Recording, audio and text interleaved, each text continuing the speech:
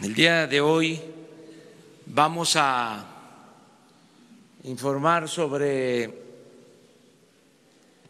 el plan de combate al robo de combustible, la manera en que se ha ido avanzando, afortunadamente bien, en poco tiempo tenemos como meta ya eh, estabilizar por completo el abasto de combustible en muy pocos días más y son buenos los resultados.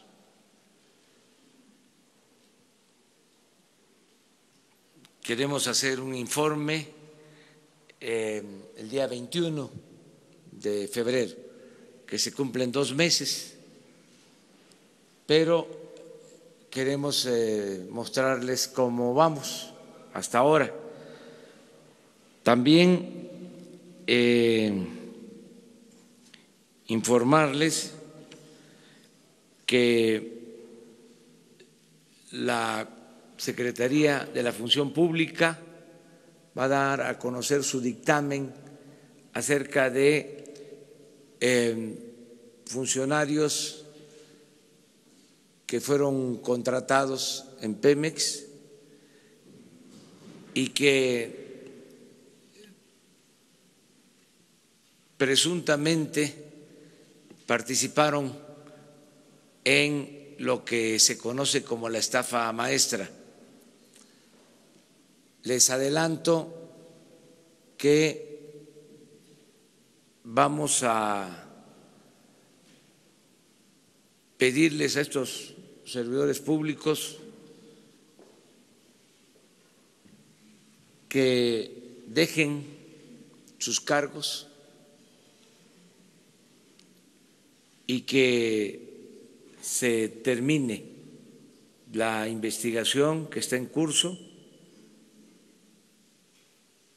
porque no podemos nosotros em, tolerar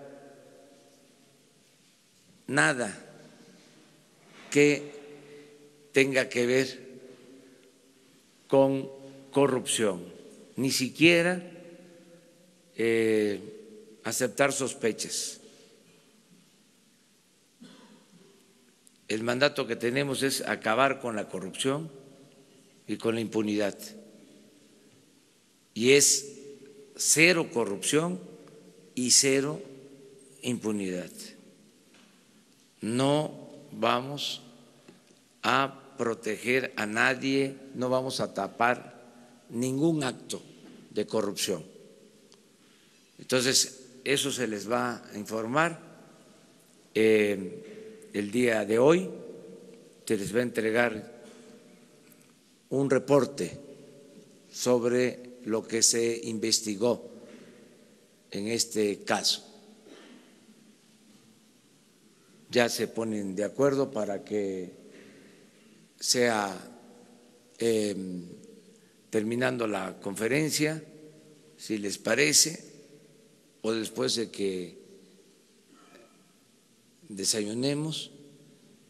Yo no estaría, pero estoy pensando que ustedes sí tienen que desayunar, o todos tenemos que desayunar. Este, una guajolota cuando menos, con atol. Bueno, este, ya se ponen de acuerdo. Vamos a escuchar ahora a Octavio, el director de Pemex, que nos va a informar sobre el avance en este programa.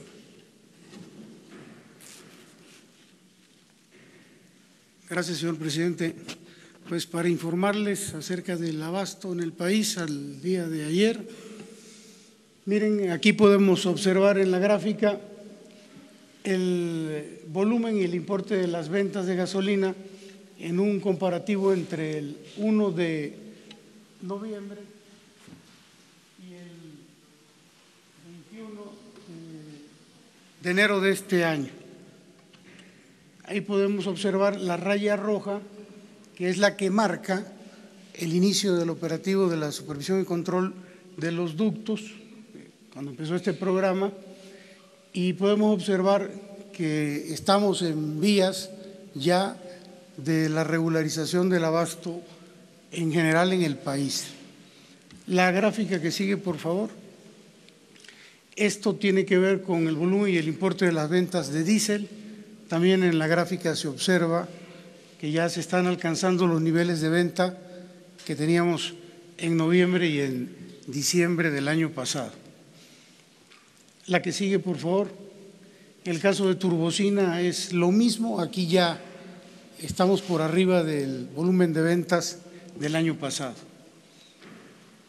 En algunos estados críticos, bueno, en Jalisco, por ejemplo, también se observa en la gráfica, lo vamos a ver más adelante con más detalle, pero ya se observa en esta gráfica que estamos alcanzando volúmenes de venta similares a los del año pasado.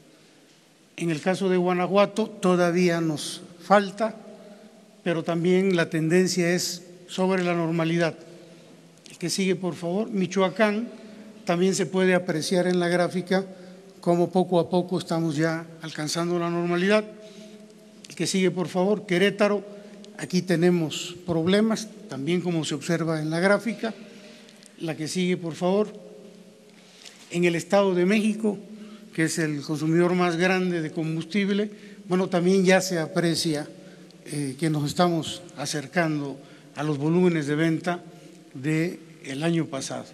La que sigue la Ciudad de México, afortunadamente no hay problema, ya está normalizada la situación. La que sigue, por favor. Caso de Hidalgo, inclusive se muestran algunos días de venta superiores a los que alcanzamos el año pasado. Bueno, aquí eh, es un comparativo del 21 de enero al 25 de enero del año pasado contra el mismo periodo de este año, es decir, los últimos días de este mes, para que quede claro. En el caso del Distrito Federal estamos por encima del 18% de las ventas con relación a ese periodo. En el caso de Guanajuato e Hidalgo todavía nos falta un 16 y un 13% respectivamente para alcanzar el mismo volumen de ventas de ese periodo. En el caso de Jalisco, Estado de México y Michoacán, para ese periodo estamos 12, 11 y 19% arriba de las ventas. Y en el caso de Querétaro, pues evidentemente estamos por debajo todavía un 28% en relación a este periodo. La que sigue, por favor. Esta gráfica eh, es importante porque tenemos el promedio de ventas del año pasado, de todo el año pasado, y lo estamos comparando para efectos de ver cómo va el avance en el abasto, lo estamos comparando con el promedio mensual de enero del año pasado y de este año. Por ejemplo, el promedio del año pasado eran 122 millones de litros por día. En el 2018, en enero, teníamos 120, eso fue lo que se vendió, y en este año, en ese periodo, 111, lo que representa un 93% con relación a lo que se vendió en enero del año pasado. Ahora bien, tomamos los últimos 15 días de enero, de este enero, y los comparamos con los últimos 15 días del año pasado, y se observa ya un incremento de un 1%, o sea, 94%. Y finalmente, aquí estamos comparando la última semana de enero, esta que llevamos contra la del año pasado, y ya se observa que estamos en el 97%, lo que nos hace ser optimistas con relación a que en próximos días ya estemos vendiendo los volúmenes que se vendían el año pasado. Este es el caso del diésel, es exactamente el mismo procedimiento. Para el mes es 91, para la última quincena 93 y para la última semana 92%.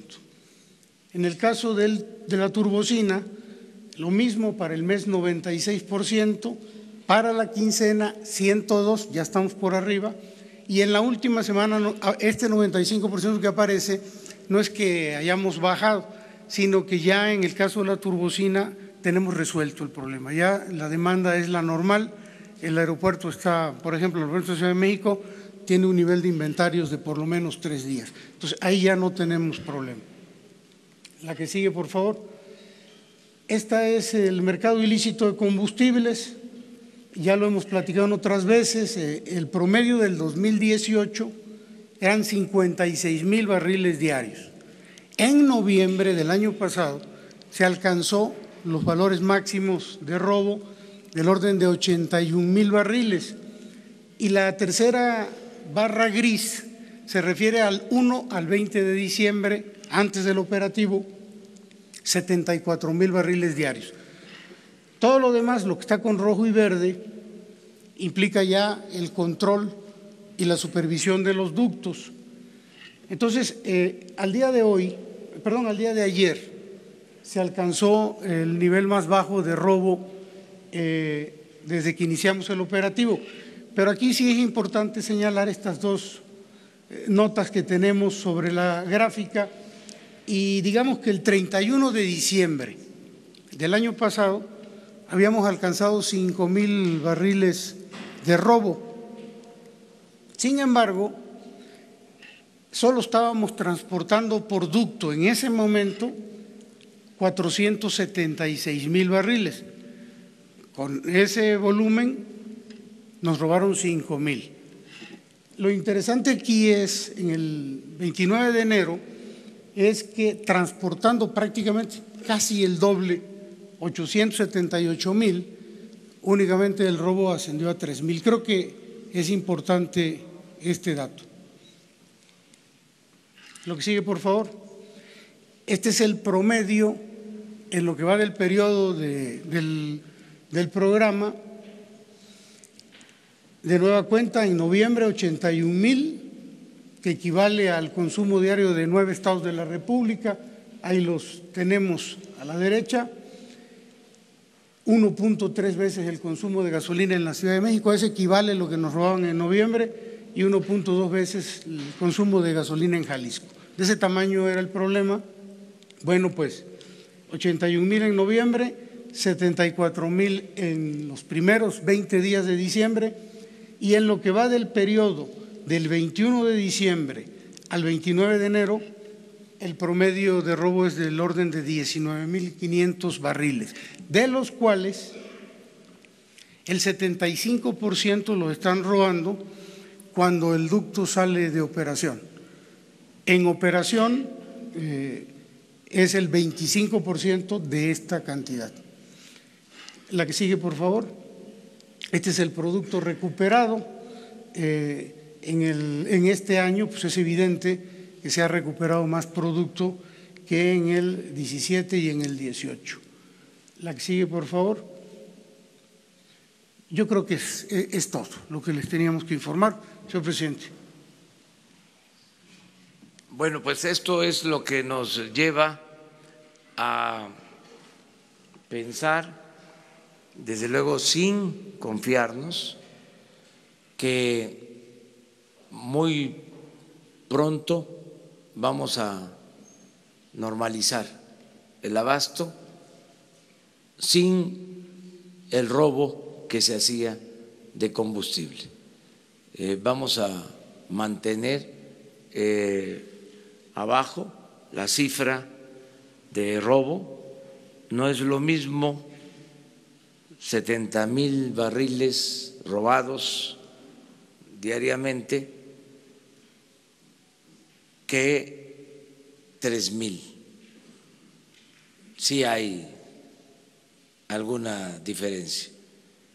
Entonces, este es el plan eh, que se aplicó que se va a mantener hasta que se logre la normalidad porque tenemos que atender otros asuntos también con prioridad. Eh, aquí quiero aprovechar para agradecer la participación de los familiares de víctimas de la violencia que están trabajando con la Secretaría de Gobernación, en particular con Alejandro Encina, subsecretario de Gobernación, en las búsquedas de sus familiares. Ayer eh, me informaron de que han iniciado la cuarta caravana nacional de búsqueda de personas eh, desaparecidas. Y el lunes eh, próximo la Secretaría de Gobernación va a presentarles todo el plan que eh, tiene que ver con desaparecidos en el país, todo lo que se está haciendo en común acuerdo con la participación de familiares de víctimas. Esto es básicamente lo que queríamos informar el día de hoy y comenzamos la sesión de preguntas y respuestas. Vamos para atrás. Ayer fue adelante, ahora vamos atrás. ¿Sí? ¿Los dos?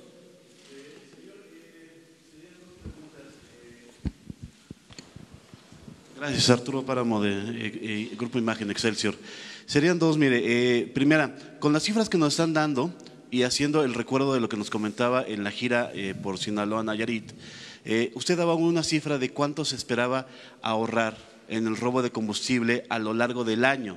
Hacía una estimación de 65 mil millones, bajar a solamente 25 mil millones. Con estas cifras sería más optimista eh, respecto al robo de combustible y sería un ahorro más importante para el gobierno. Y la segunda, eh, eh, hemos tenido información de que va a haber una segunda ronda, por llamarlo de alguna manera, de despidos en la burocracia.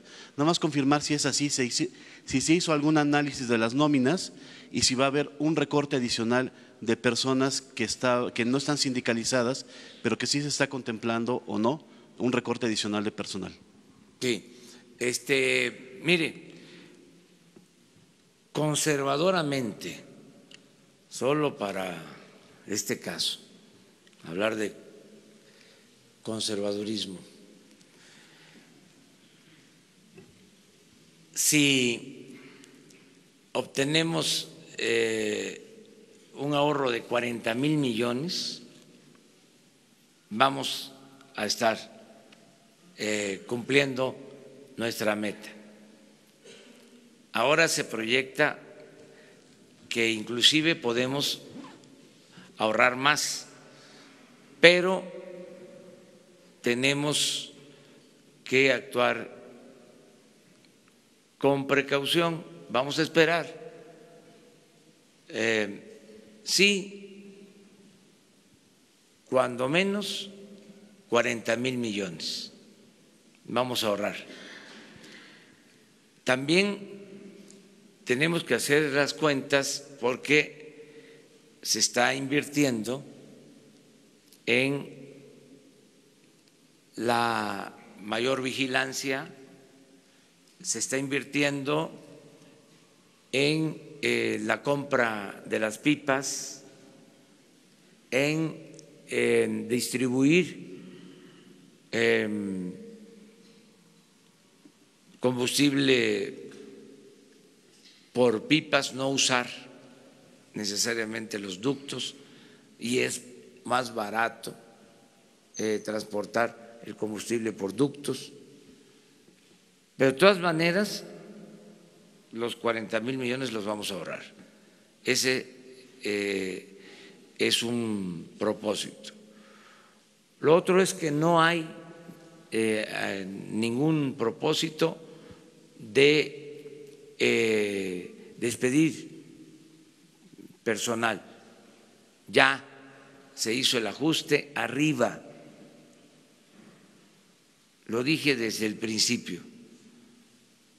no eh, despedir a trabajadores sindicalizados, a trabajadores de base, despedir y tampoco debería de utilizar el término, la palabra despedir, sino eh, dejar de contratar a funcionarios públicos de alto nivel, eh, porque había una estructura eh, onerosa.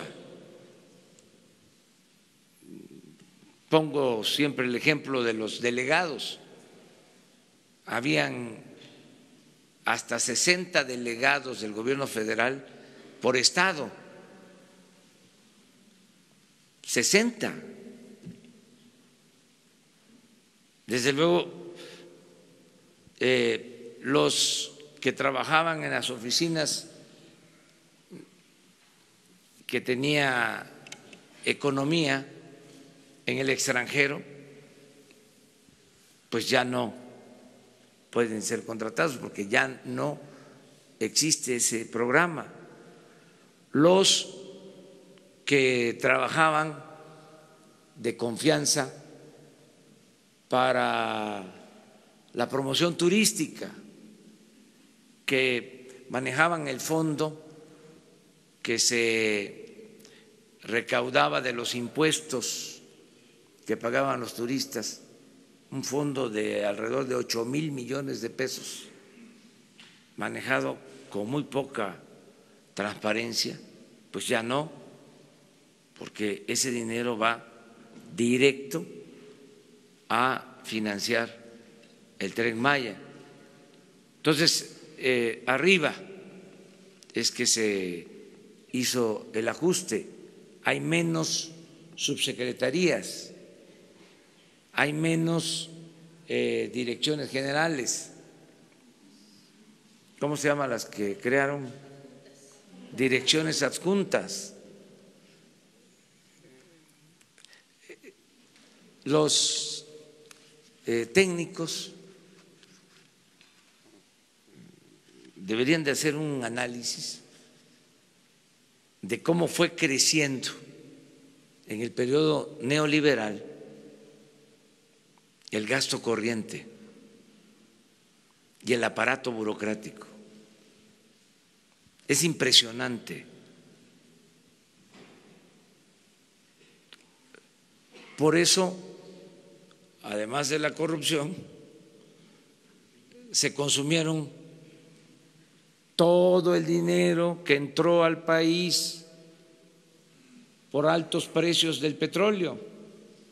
Nunca en la historia de México se había recibido tanto dinero por la venta de petróleo al extranjero como en 12 años, dos sexenios del periodo neoliberal, que para no herir susceptibilidades no quiero decir cuáles fueron esos dos sexenios. Nunca. Y resulta que no hubo crecimiento económico, se endeudó al país y creció el aparato burocrático.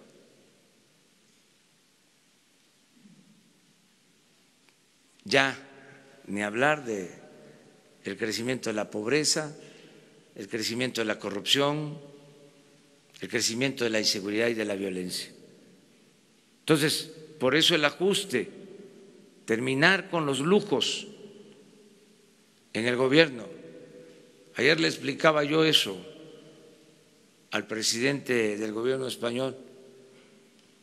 Para ellos eh, en Europa cuando se habla de austeridad, inmediatamente se piensa en despido de trabajadores. Y para nosotros el concepto es otro, tiene que ver con el principio juarista de que se debe de vivir en la justa medianía, que el servidor público tiene que aprender a vivir en la justa medianía, sin lujos, sin fantocherías. Y eso permite ahorros muy importantes y está eh, por aprobarse todavía la ley de austeridad republicana. Y yo espero que con esto y con el combate a la corrupción tengamos presupuesto suficiente para financiar el desarrollo. Va a estar garantizado el bienestar del pueblo. Ese es el objetivo principal, que le vaya bien al pueblo. Quedamos que la compañera y luego ustedes dos, tras. Los tres, sí, y pasamos ya a la derecha. No me lo vayan a quitar. Buenos días, presidente. Mara Rivera de Enfoque Noticias. Yo quisiera preguntarle uh, de bote pronto una reacción respecto a declaraciones de Donald Trump de que México aumentará 33%, aumentó los asesinatos en México durante 2018 en comparación al 17 y que la situación pues que aún se ve peor incluso que en Afganistán. Una segunda pregunta, señor presidente, es sobre la, posibilidad que ya existe, de acuerdo a las reformas que se han dado, de que el fiscal especial sí puede actuar, haya o no denuncias, y esto concretamente con el caso de Carlos Romero de Shams, sí puede actuar, sí puede investigar y no precisamente esperar a que se presente una denuncia. Y por último, eh, se presentó también hace unos, días eh, por parte de una empresa denominada AMBAR el sistema de monitoreo acústico en los ductos. Dicen que ya lo habían expuesto a Pemex este monitoreo que es muy eficiente, que incluso hubo muestras en Texas, eh, en fin. Pero pues no, nunca los buscaron y, es, y este tipo de monitoreo ya se emplea en empresas privadas y que es muy efectivo.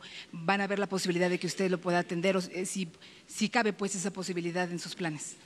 Sí, este, pues vamos a, ver qué eh, proponen sobre el monitoreo. Existe ya un sistema de monitoreo, yo les comentaba que no es eh, eh, por falta de tecnología que se roban el combustible, sino por relaciones de complicidad que existían y por la tolerancia al robo, porque se permitía el robo, porque en el mejor de los casos había omisión,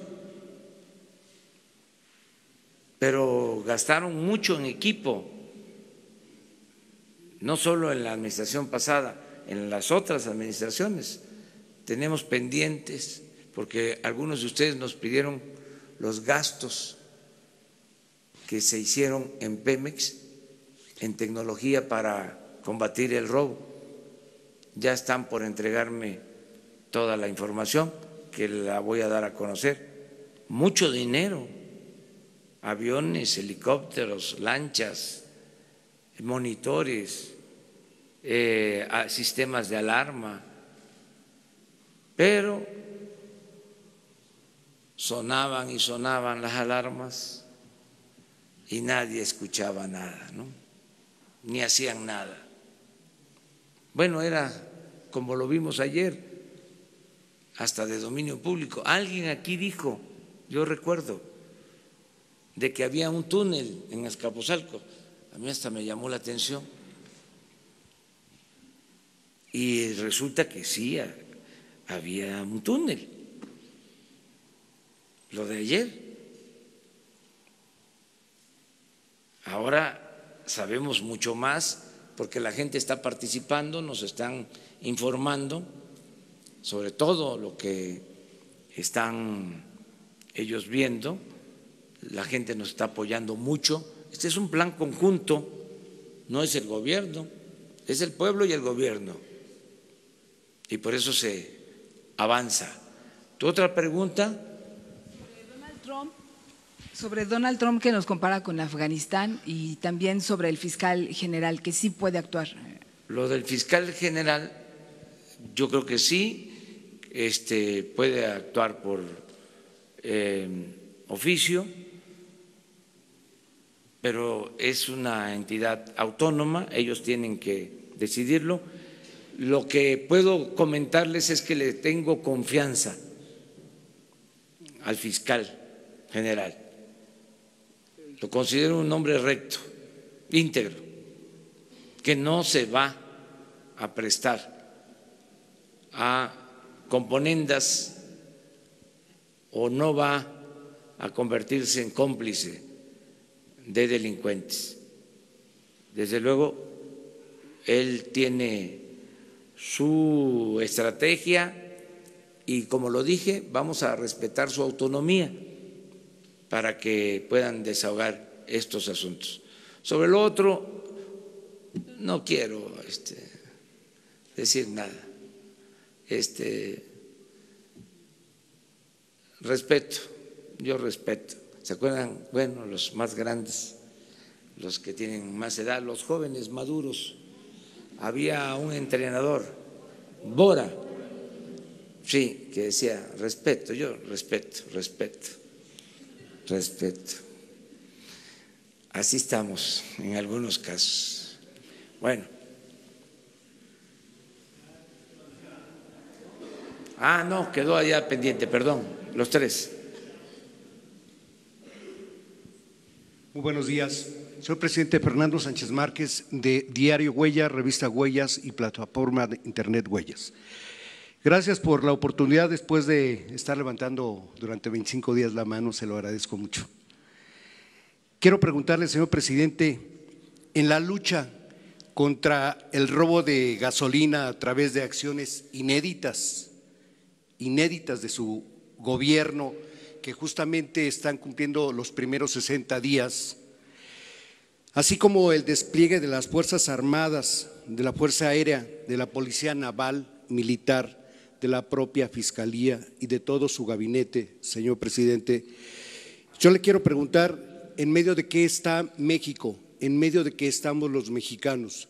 Frente a un estado de emergencia, ante una guerra sin cuartel para luchar contra el crimen organizado y preguntarle, señor presidente, en este sentido hemos observado con mucho detenimiento el gran avance que se ha registrado en esta lucha, pero no cesa esa parte de la delincuencia. Usted, señor presidente, se sentaría a dialogar, a negociar con ese núcleo que insiste en una presunta descomposición social de México, por un lado, señor presidente, y por el otro, preguntarle, el arzobispado de Morelia ha sugerido que ellos tendrían en todo caso más derecho de negociar con el AMPA para que el gobierno se dedique a aplicar la ley. Así sería, señor. Muchas gracias por su respuesta. Bueno, estamos eh, en una tarea en una gran campaña, todos los mexicanos, el pueblo y el gobierno, de limpieza de la corrupción. Así lo describo. Se está limpiando de corrupción el país. con la participación de todos. Esta es la gran campaña que hemos emprendido de limpiar, de purificar la vida pública, de moralizar la vida pública de México.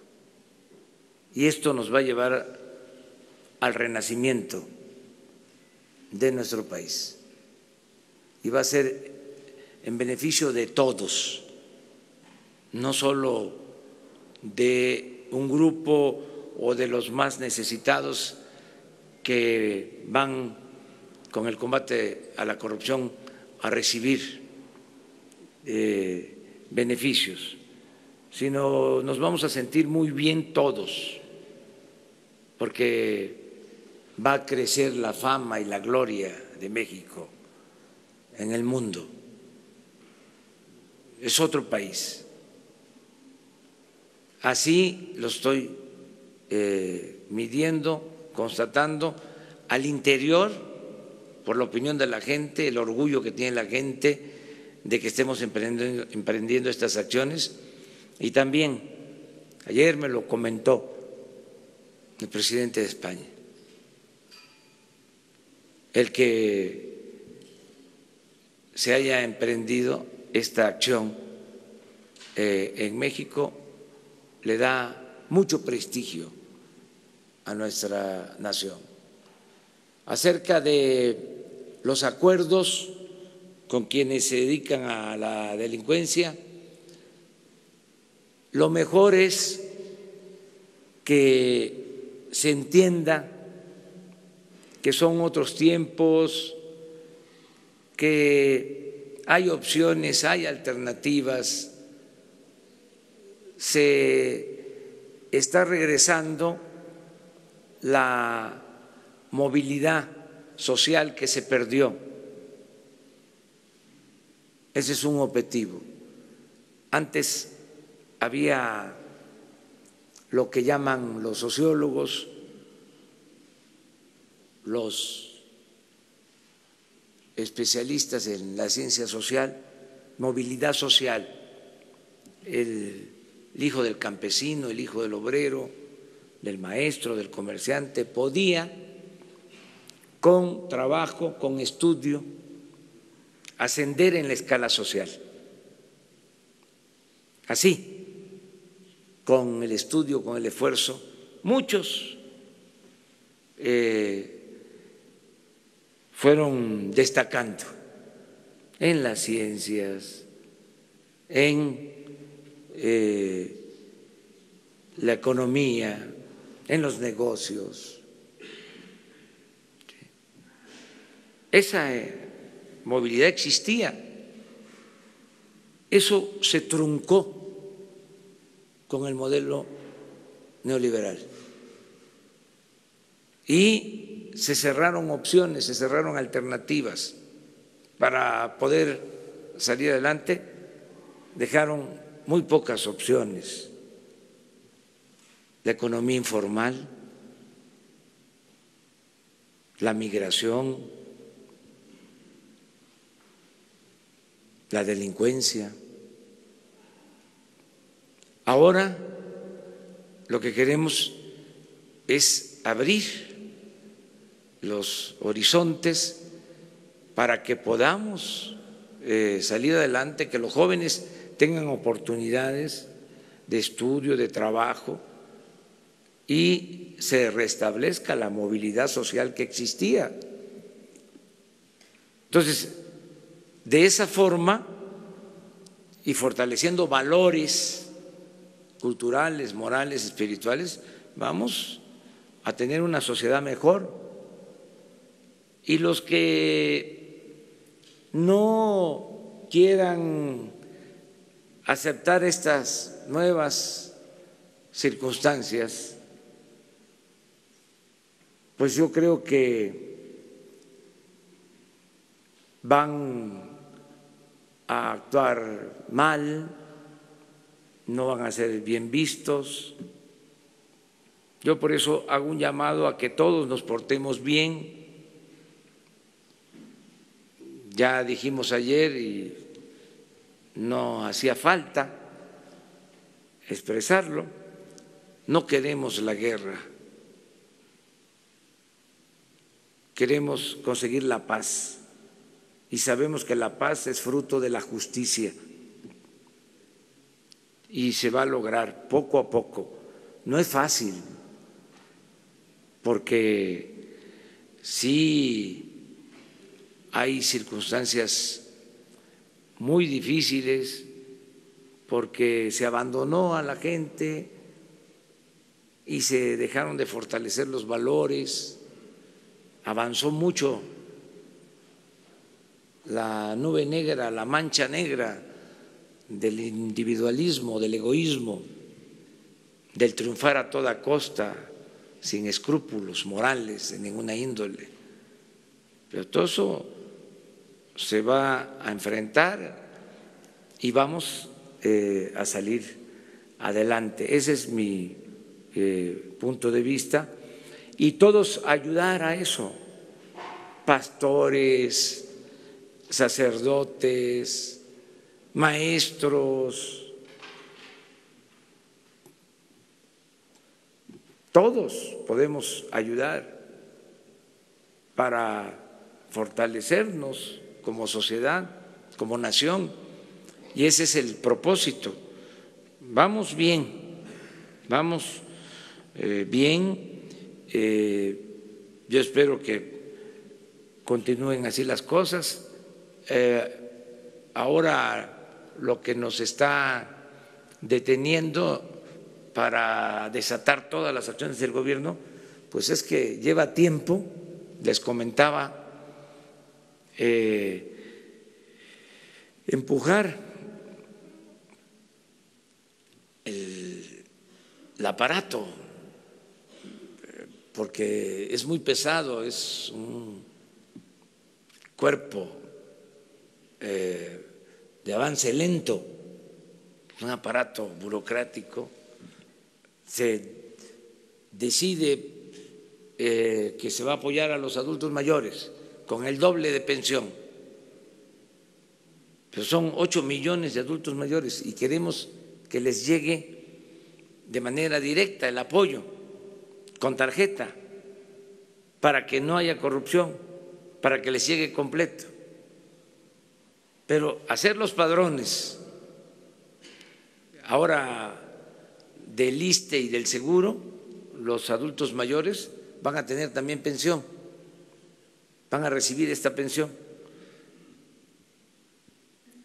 Pero llevamos como un mes revisando los padrones del seguro y del ISTE que no estaban actualizados o no tenían todos los datos para hacer un solo padrón confiable y dispersar los recursos. Mañana vamos a dar un informe sobre eso. De los ocho millones de adultos mayores que van a recibir pensión, que son todos, porque es un programa universal. Para mañana me han dicho que podemos ya anunciar que cinco millones ya tienen sus pensiones de dos meses de enero y de febrero, pero de ocho, cinco, teniendo los recursos. No es un asunto de que falte el presupuesto, ya está autorizado. Es cómo se opera el programa. Entonces, eso cuesta, claro, una vez que se establezca el modelo, que ya se tiene el padrón único, pues es ya sencillo, ya eh, la tesorería de la federación avisa al Banco de México y con los bancos comerciales se dispersan los recursos. Eso se hace en dos días, pero teniendo la base de datos. Eso va a ayudar mucho. Pero lo mismo debemos de tener completo para el millón de personas con discapacidad y tener completo eh, el padrón de becarios, que van a ser 10 millones. Entonces estamos trabajando en eso. Yo espero que cuando ya tengamos todo el padrón de bienestar, que ya podamos dispersar desde la tesorería hasta el beneficiario de manera directa, van a mejorar mucho las cosas. Y al mismo tiempo ir avanzando en los proyectos productivos que ya vamos a licitar el tren Maya, la refinería, el istmo, ya estamos por iniciar la construcción de las dos pistas en Santa Lucía, en fin, ya vamos avanzando. Ya, por ejemplo, eh, inició el programa de zona libre de la frontera y han sido muy buenos los resultados, pero vamos a consolidarlo, a mejorarlo. Todo esto va a ayudar mucho a que haya bienestar y que también haya crecimiento económico, que podamos crecer.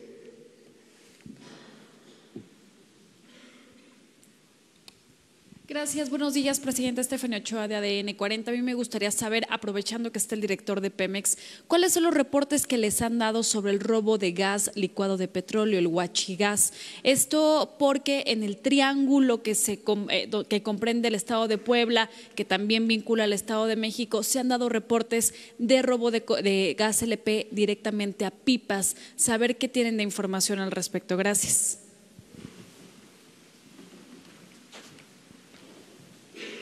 Sí, buenos días.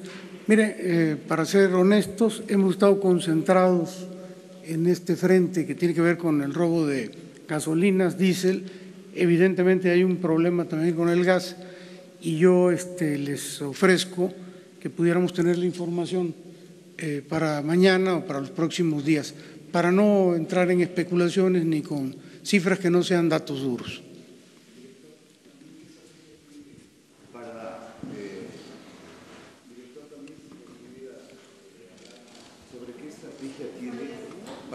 ¿Qué estrategia tiene para la debilidad de las finanzas y la gran deuda de Pemex? Y además, este, ¿qué opinión le, merece el que Modis eh, haya dado un voto de confianza? Que, a ver si nos puede comentar cuando usted quiera. Bueno, nosotros estamos aplicando el programa de austeridad, estamos eh, llevando a cabo muchos ahorros en la empresa, le apostamos al combate a la corrupción para liberar recursos. Desde luego, ha habido inversión adicional de parte del gobierno federal hacia Pemex y estamos confiados en que con esos eh, recursos y con la austeridad, con el combate a la corrupción, vamos a sacar adelante los proyectos que están en marcha. Eh, a mí me llama la atención eh, que durante 17 y 18 la inversión en Pemex cayó de manera sustancial con relación a los otros años y en este año 2019 la inversión es superior a los dos años anteriores y llama la atención que no haya habido eh, esa degradación en la calificación en años anteriores y ahora que hay anunciada inversión y que hay proyectos en curso, pues se den estas condiciones. Pero yo hasta ahí la dejaría. Sí, fue buena la este, mención de la otra correduría. Sí, que este, nos da el beneficio de la duda. Este, pero cuando menos eh, actúan con más eh, sensatez, con más responsabilidad porque lo que aquí menciona el director de Pemex es evidente que no se invirtió en Pemex en los dos últimos años, ahora que es más la inversión y que además se está combatiendo el principal problema de Pemex y de México, que es la corrupción, salen a descalificar pero no podemos generalizar.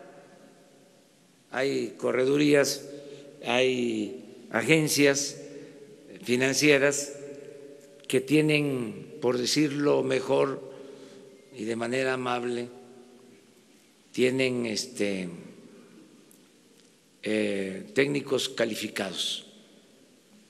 Y hay otros que quién sabe este, dónde se formaron o qué este, están eh, pensando. Pero en fin, falta uno, por ejemplo. Muchas gracias, señor presidente. Miguel Arzate, del Sistema Público de Radiodifusión, Canal 14. Preguntarle, ayer nos mencionaba que los miembros de su gabinete tenían hasta el día de ayer para hacer transparente su declaración patrimonial, la famosa 3 de 3. Preguntarle, ¿todos lo hicieron? Y en caso de que todos lo hicieran o no, ¿quién no lo hizo? Y si los mexicanos pueden acceder a esta información, no sé, en una página de internet.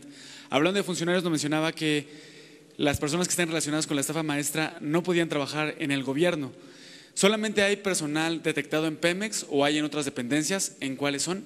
Y por último, preguntarle de la subasta de los vehículos del gobierno anterior. ¿Va a ser una subasta abierta? ¿Los mexicanos pueden acceder, eh, la población en general, y cuáles son los requisitos? Esas tres preguntas. Muchas gracias. Sí, este, todos los funcionarios dieron a conocer su declaración de bienes. Esa es la información que tengo Hoy me presentan un reporte y eh, se hace transparente. Es decir, se va a poner la declaración de bienes en eh, la página que corresponde a la función pública, en todos los casos. Sería bueno ya pero a lo mejor en la conferencia de hoy lo explicas. Tenemos pendiente, y eso lo vamos a hacer, se va a transparentar también la nómina del gobierno, completa, de todo el gobierno. Es eh, otro compromiso. La otra pregunta. hay otros eh, funcionarios en otras dependencias. ¿Cuáles dependencias? En este caso se hizo la investigación sobre funcionarios de Pemex, pero eh, aplica en todos los casos. Esto lo va a explicar hoy la secretaria de la Función Pública. Y ahí preguntaste otra. Ah, la subasta. Sí, abierta. Abierta. Hay que este empezar a ahorrar este, para que eh, se puedan adquirir. Es un precio, lo que le llaman de salida. Y hay un carro que costó como 5 millones, pero tiene un precio de salida creo que de dos. ¿sí? A partir de ahí el que dé más, eh, no solo es el vehículo que es de buena calidad, este, blindado, no traqueteado, sino imagínense quienes se trasladaban en esos carros. Entonces, para coleccionistas, para la gente que tiene posibilidad de tener un carro así. Además, hay mucha gente que tiene recursos económicos que los ha ganado con su trabajo, con su esfuerzo, eh, comerciantes que pues también eh, requieren protección, como todos, y ahí están de nuevo. Y van a ver lo de los aviones, eso sí está este, muy, muy interesante también, eh, porque se dio el mal ejemplo. Cuando se compra el avión presidencial que lo compra no el presidente anterior, sino el otro, se lo deja comprado, se lo dejó comprado. Inmediatamente que se compra el avión, se compran otros de mil, mil quinientos millones de pesos, jets de lujo para altos funcionarios públicos, además del avión presidencial, porque se dio el mal ejemplo. Si el jefe este, tiene un avión para 240 pasajeros, que no lo tiene ni Donald Trump, ¿por qué no los otros hacen lo mismo? Entonces, todo eso se termina, todo eso se acaba, austeridad republicana, pero eso es hasta la feria que va a haber en Santa Lucía. Los tres, ustedes. Sí, ustedes tres. Hola, presidente. Bianca Carreto, de ADN Político.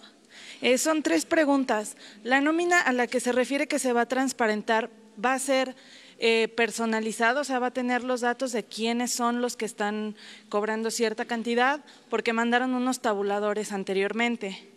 Eh, por otro lado, usted dice que se frenó la puesta en marcha de la Guardia Nacional, pero hoy en ADN Político tenemos algunos documentos de Sedena donde dice que esta integración ya está en marcha.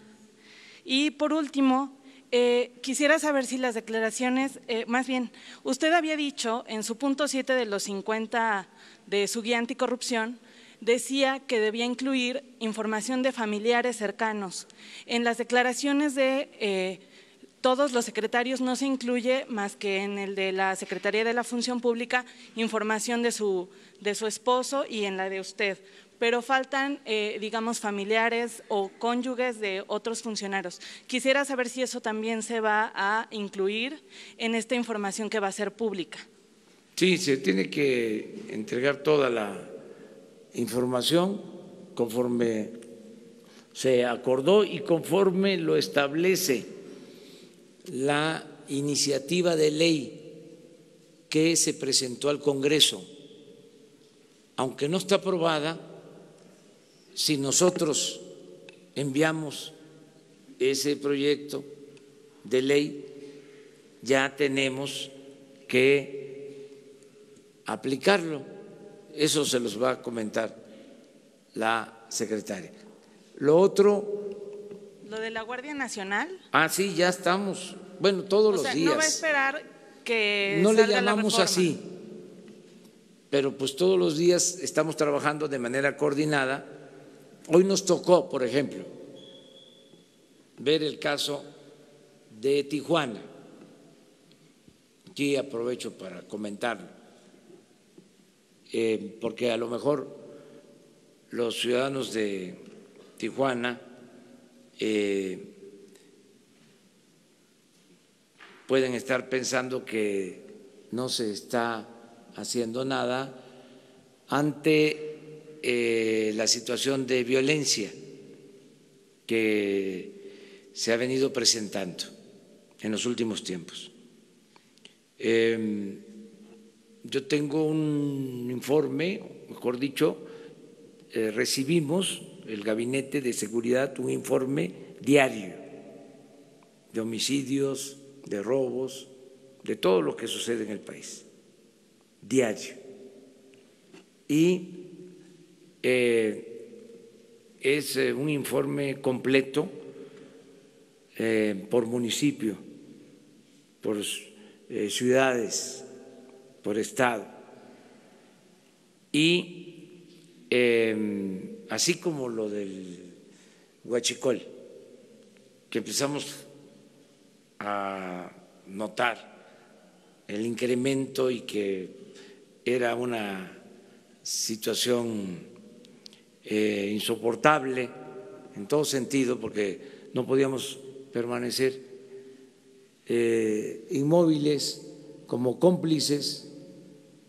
Entonces ya está en marcha la Guardia Nacional, ya está operando. En el caso de Tijuana, por ejemplo, aprovecho para decirle a los ciudadanos, eh, se está instrumentando un plan especial, porque que crecieron muchos, muchos los, los homicidios en Tijuana en el último tiempo y ya estamos actuando. Entonces, eso es parte de la Guardia, que ya ahí, conjuntamente en Tijuana, va a actuar eh, el Ejército, la Marina, la Policía Federal y se está eh, buscando la coordinación para que participen policías eh, municipales y estatales, porque lo que nos importa es la seguridad pública.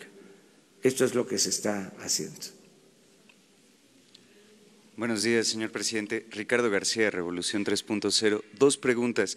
Eh, primero, referente a empresarios y el Congreso local de Chiapas han pedido que se deje de castigar a la frontera sur y han solicitado ver la posibilidad de que el IVA y el ISR se estabilicen igual que en la frontera norte, es decir, 8% y 20%. Saber eh, si esto es posible, si, si se pudiese implementar. Y por otro lado, nuestro medio, al igual que muchos aquí presentes, hemos publicado información acerca de presuntos intentos de secuestro a mujeres en el metro de la Ciudad de México y el Estado de México. Saber si eh, usted ya ha solicitado a la jefa de gobierno de Claudia Sheinbaum y al gobernador Alfredo del Mazo que se realicen acciones conjuntas o si ya se está atendiendo esta problemática. Gracias. Sí, tengo el informe que hace dos días se reunieron el gobernador del Estado de México y la jefa de gobierno para tratar eh, asuntos que tienen que ver con los problemas de inseguridad. Están trabajando de manera coordinada. Llevaba tiempo que no se llevaba a cabo una coordinación como la que ahora se está eh, realizando en el Estado de México y en la Ciudad de México. Ese es el informe que tengo. Eh, sobre la frontera sur van a recibir muchos apoyos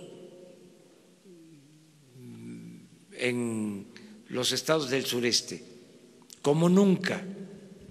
Eh, va a haber inversión en Chiapas, en Campeche, en Tabasco, en Veracruz, en Oaxaca, desde luego Yucatán, en Quintana Roo. Y además eh, el plan de zona libre que se aplica en la frontera norte, eh, a partir de los resultados, queremos eh, aplicarlo también en otras regiones.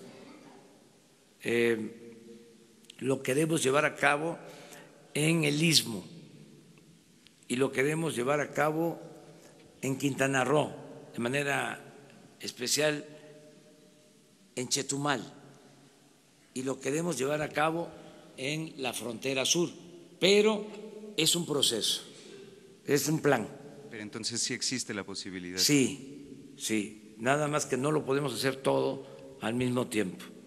Esta coordinación que mencionaba de este gobierno de la Ciudad de México y Estado de México ¿e-, es específicamente en torno a los delitos cometidos eh, contra mujeres en el metro. Seguridad y eh, lo que tiene que ver con la protección de mujeres. Eh, Claudia Sheinbaum además participa en las reuniones de seguridad con nosotros todos los lunes. Está la jefa de gobierno. Y les adelanto de que estas reuniones que llevamos a cabo eh, de 6 a 7 de la mañana, de lunes a viernes, reuniones de seguridad, también las vamos, las vamos a realizar en los distintos estados de la República. Vamos a empezar en febrero en Nuevo León. Vamos a sesionar en Monterrey todo el gabinete de seguridad eh, a mediados de febrero y se van a ir haciendo en las distintas regiones del país. Aunque eh, aquí tenemos información de todo lo que pasa en México.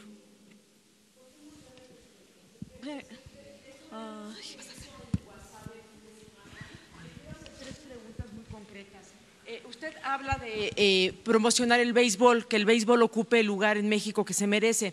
Entonces quisiera preguntarle, ¿está usted enterado de las pugnas internas que se generaron en la Liga Mexicana de Béisbol a raíz de que se anuncia que Sultanes se cambia de liga para por primera vez jugar en una liga, digamos, como romper un código no escrito de irse a jugar con el enemigo, dada la relación tan frágil que existe entre ambas ligas.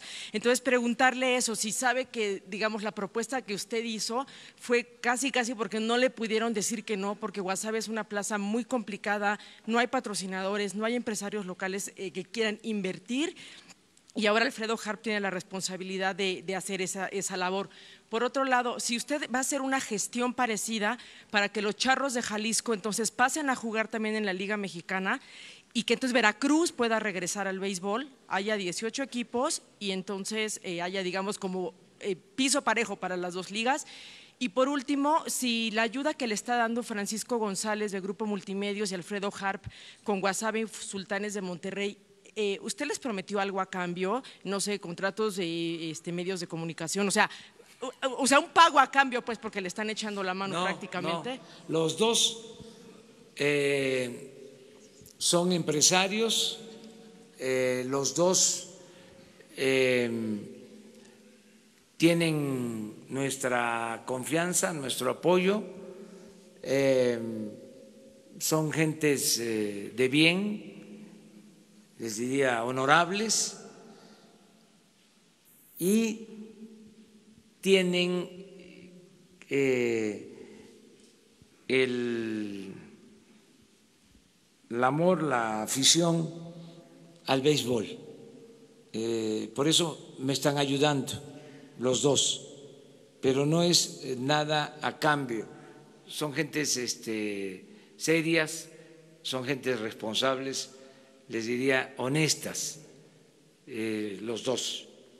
les pedí que me ayudaran porque pues no queremos estatizar el deporte es decir, que sean los gobiernos estatales, los gobiernos municipales, el gobierno federal, el que se haga cargo de financiar los equipos de béisbol de Liga Mexicana del Pacífico, de la Liga Mexicana del Verano.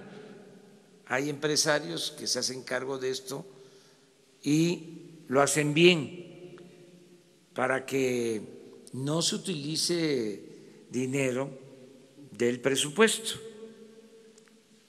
o que el fomento al deporte no cueste tanto y que eh, se priorice lo que tiene que ver con la práctica del deporte masivo, porque el deporte es medicina preventiva, es fundamental y que se apoye a todos los deportes, todas las disciplinas deportivas.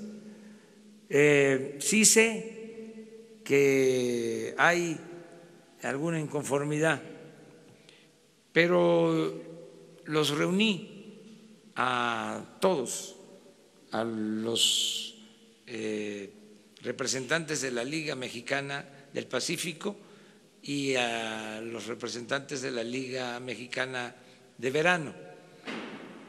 Entonces había una inconformidad, les dije, bueno, ¿van a ayudar al béisbol? Y entonces dijeron, sí. Entonces, si ahora hay eh, algunas diferencias, pues ya las vamos a arreglar. Fue bueno el acuerdo, se los explico. Eh, regresa al béisbol porque eh, habían dejado de tener béisbol en Guasave, eh, esa franquicia pasó a los Charros de Jalisco. Eso es lo que se argumentó, que no era rentable.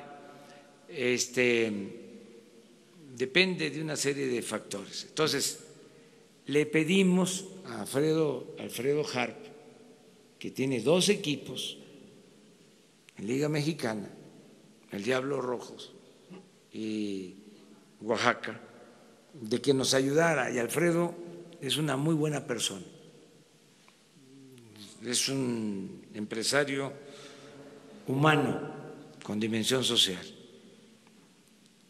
y con mucha este, transparencia, franqueza, me dijo, yo lo inicio, ya no quiero este, eh, ocuparme mucho de esto, lo inicio, apoyamos para que se consolide eh, el equipo, se administre bien y luego se pasa la franquicia a otro empresario.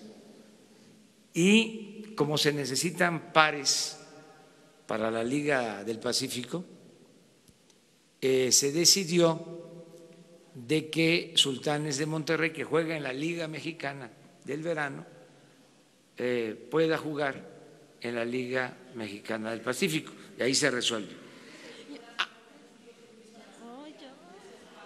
Además, bueno, estaba el presidente, el presidente, los dos presidentes de las dos ligas. Este, y yo le dije que si había alguna inconformidad y se necesitaba convencer a los dueños de equipos, yo lo hacía. Tengo tiempo también para eso, porque me importa mucho el deporte y decirles que también va a ingresar el Águila de Veracruz a la Liga Mexicana del Verano. O sea, estamos apoyando todo lo que es el béisbol y eh, apoyando también la formación de escuelas para jóvenes eh, prospectos de béisbol. Vamos a impulsar el béisbol, pero también el fútbol, también el básquet, el atletismo, el boxeo, todos los deportes. Tenemos ahora un plan para eh, apoyar la caminata, apoyar el boxeo, apoyar el béisbol. Estamos pensando en eh, la preparación de eh, los deportistas de alto rendimiento con miras a las Olimpiadas. Ya estamos trabajando en eso. Y hay que hacer deporte aprovechando, hay que caminar este, hay que estirarse, hay que hacer ejercicio. Eh, es bueno para el cuerpo, es bueno para el alma, para el espíritu. Este, además, es una extraordinaria terapia cuando estén muy cansados porque eh, se están levantando muy temprano, eh, cuando, sí, este, se hayan comido muchos tacos, este, muchas guajolotas, este, a caminar, eh, a distraerse, a este, refrescarse la memoria. Eh, tenemos, ¿eh? Ahora voy de vez en cuando, sigo este, practicando, voy a tranviarios, eh, tengo este, posibilidad de hacerlo. Eh, a la hora no les puedo decir porque ahí sí ya no. Presidente. ya no podría hacer nada. Presidente, sobre la... Aquí, presidente, buenos días, presidente. Gabriela Jiménez del Sol de México. Sobre eh, las declaraciones de los funcionarios, el jefe de oficina, Alfonso Romo, está percibiendo casi 150 mil pesos como servidor público. preguntarle por qué es que se permitió esto cuando usted había dicho que pues no iban a poder ingresar más que usted y pues bueno que se le ha hecho este exhorto constante a los ministros. Este, eso por un lado. Y por otro, si nos pudiera detallar un poco más sobre las licitaciones públicas para el tren Maya y el aeropuerto, porque bueno, si ya se va a construir las dos pistas en Santa Lucía, esto quiere decir que ya se hicieron las contrataciones por adjudicación directa y quiénes este, estarían haciéndolo. Y finalmente, para la Secretaría de la Función Pública, si nos pudiera em, comentar que si hay investigaciones contra otros este, funcionarios, además de León Travitz, en materia administrativa, este, por los saqueos de Pemex y pues cómo, cómo, cómo van en este, en este tema. Gracias. Sí, seguramente lo de Alfonso Romo es un error este, porque el acuerdo es de que se tiene que respetar la Constitución, no se puede ganar más que el presidente, solo en casos, como lo establece la misma Constitución, de técnicos especializados, de quienes lleven a cabo labores muy especiales, pero no es eh, eh, este asunto, es un error. Eh, acuérdense que yo tuve que devolver, es eso, ¿verdad? Sí, eso es. Eso es. Entonces, se devuelve, se tiene que devolver. O sea, porque ya estaba la nómina hasta diciembre. Sí, todos los que todos los que recibieron más, porque esto aplica a partir del día primero de diciembre, pero la nómina ya estaba hecha de esa forma. Entonces, ¿cuándo lo devolvería y por cuánto sería? Pues vamos a verlo y este, ya les informamos. Acerca de los eh, contratos de Tren Maya del aeropuerto, eh, estamos eh, apenas en los estudios preliminares, los contratos todavía no se otorgan. En algunos casos tienen que ver pues con estudios básicos, pero una vez que tengamos toda la información se les va a dar a conocer. Usted dijo que ya iban a iniciar las construcciones de las dos pistas. ¿Ya tienen las empresas? ¿Quiénes serían? Todavía, todavía. Ah, no, es el ejército. Ahí sí, lo va a construir el ejército y aprovecho para comentarles y a ver si mañana les traigo eh, el documento o pasado mañana. No sabíamos, este, yo cuando empecé a proponer lo de Santa Lucía fue porque me di cuenta de que el aeropuerto actual tiene 600 hectáreas y Santa Lucía tiene casi tres mil y operando los dos aeropuertos. Entonces, yo, ¿por qué hacer el nuevo aeropuerto en el lago de Texcoco y por qué no Santa Lucía? Si hay este espacio. O sea, 600 hectáreas en el actual aeropuerto y Santa Lucía casi tres mil. Entonces, ese fue mi razonamiento. Por eso empecé a hablar de Santa Lucía. Pero ahora eh, me informan de que desde los años 80 se eh, dio a conocer por la Secretaría de la Defensa que Santa Lucía iba a ser un aeropuerto mixto, civil y militar, y que incluso se iba a dejar el aeropuerto actual para vuelos eh, nacionales y el de Santa Lucía para vuelos internacionales. No sé si así o al revés, pero,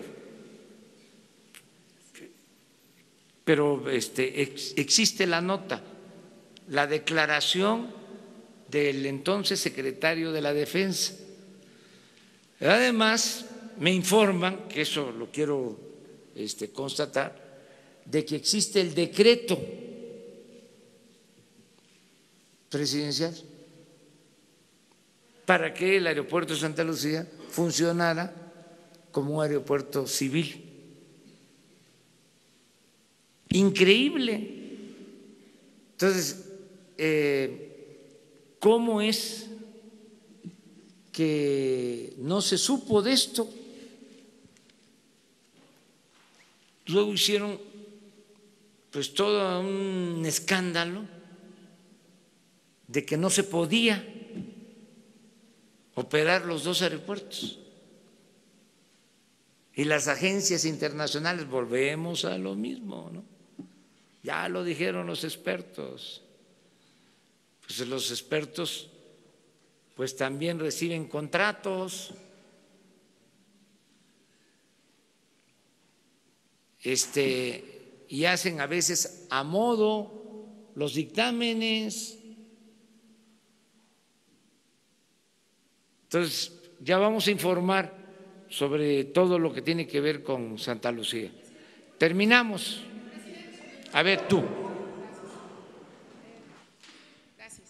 Gracias. Buenos días. la parte de la función pública después del desayuno. ¿O ahora? Ah, de una vez. Perfecto, gracias, presidente. Nayeli Roldán, de Animal Político. Eh, justamente eso, si la secretaria Irmerendira nos pudiera informar qué es lo que se avanzó en esta semana con respecto a estos eh, tres funcionarios de Pemex, cuáles serán los tiempos de la investigación, los procesos, y para usted, presidente, sobre este mismo tema.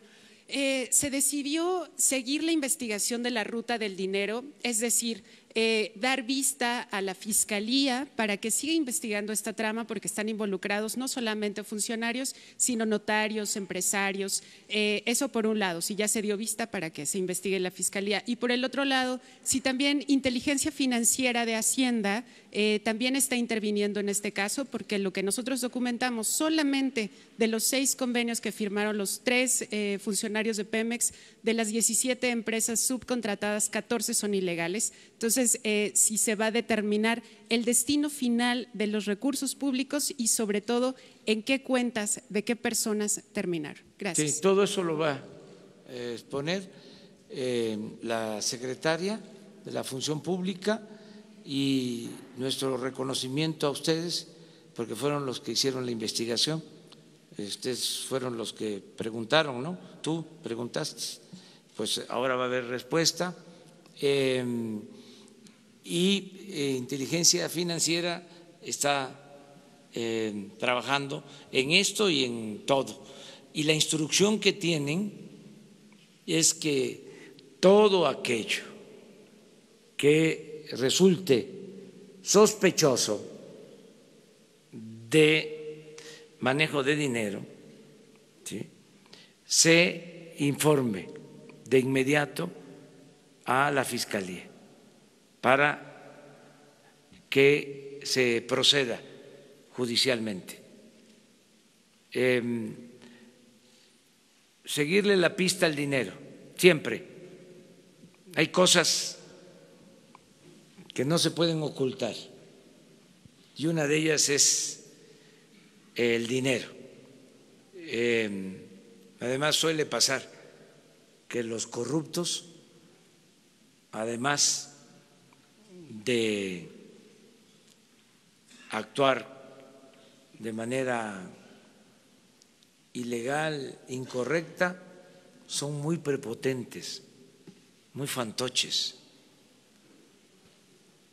Empiezan a comprar carros de lujo, residencias, hasta se engominan,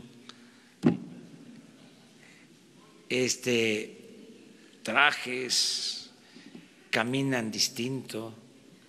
Entonces es fácil, son como los políticos conservadores que se les eh, nota a leguas, o sea, ya cuando este todo lo que esté en proceso se va a continuar. Si la fiscalía ya tiene vista de este de este caso en específico para iniciar una investigación. Sí, yo creo que sí.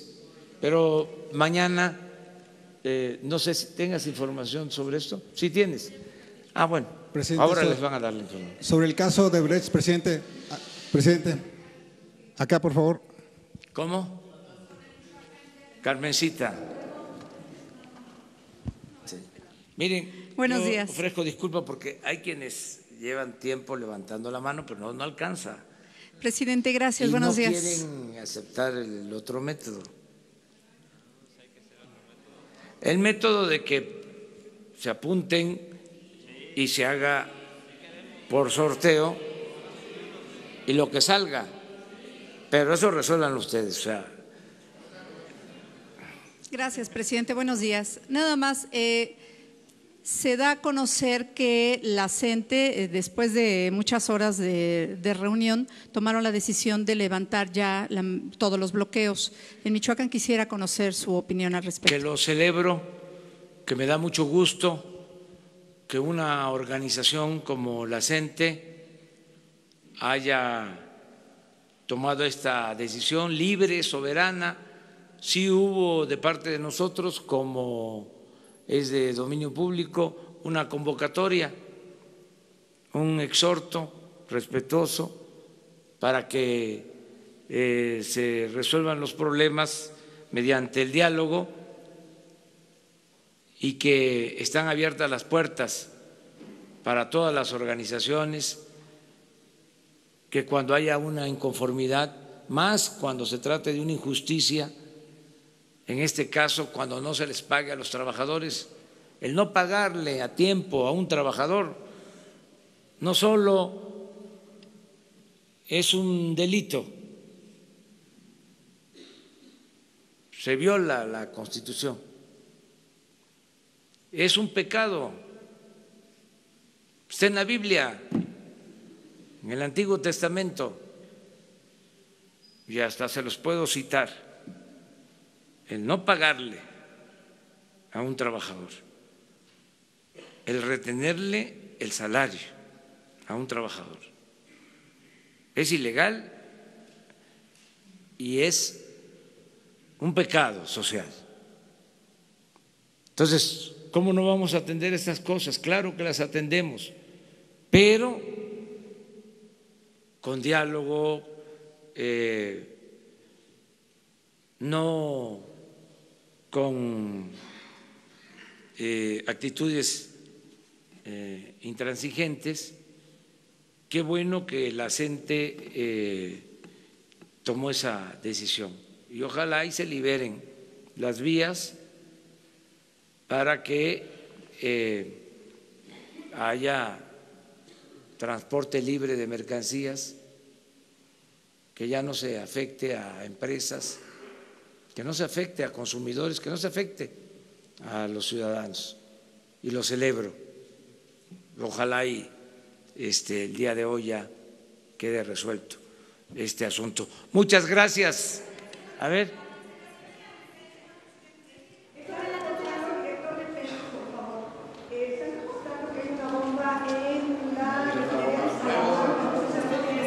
alguna información, ya recibió algún reporte. Ana Rosa Palma de Grupo Nos Radiorama. dicen aquí de comunicación falsa alarma. Pero se va este, a atender ahora. Gracias, presidente, sí. Bueno, muchas gracias, señor presidente. Eh, Me voy a permitir leer el informe que le presentamos esta mañana al presidente de la República al respecto de los convenios suscritos por servidores públicos de Pemex relacionados con la estafa maestra.